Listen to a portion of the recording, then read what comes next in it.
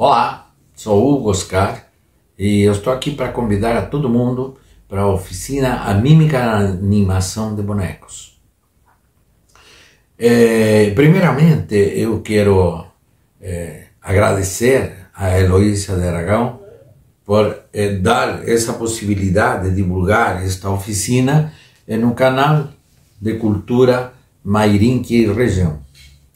A oficina vai tratar a relação que podemos ter com o objeto.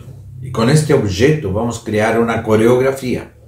Eh, vamos eh, tentar procurar dentro de das ações físicas, vamos tentar criar toda eh, uma, uma um pentagrama, como se escreve música, mas isso se escreve para a gente ter esta coreografia que eu estou falando.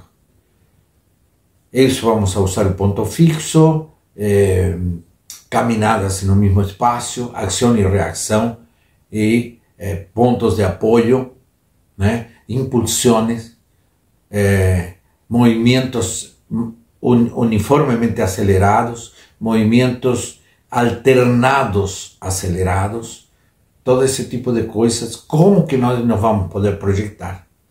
Espero vocês na oficina e vamos poder conversar muito mais sobre isso e trocar ideia, tá? Porque a gente, quando dá uma oficina, também aprende com os alunos e uno também dá, é, é, explica e ensina o que a gente tem, a experiência.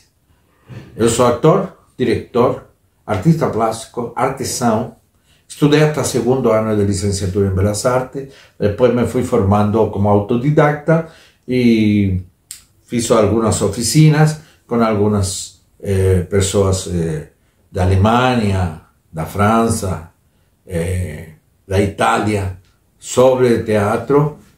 Participei de workshop de Grotowski quando esteve aqui no Brasil, no Sesc Pompeia, no Sesc da Vila Nova, não no Pompeia, e eh, tive a oportunidade de ver o trabalho dele, como depois eh, veio eh, Eugênio Barba, participei de alguns workshops de Eugênio Barba, onde ele trabalha e explica esse tipo de coisas, tá?